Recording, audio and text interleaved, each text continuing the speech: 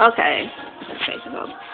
I was on YouTube watching a video, and the guy was talking about the Barbie movie. I'm like, okay, he has to be talking about Nicki Minaj. Everybody knows the original Barbie is Lil Kim, because she then got the plastic surgery done and messed herself up, looking a hot mess.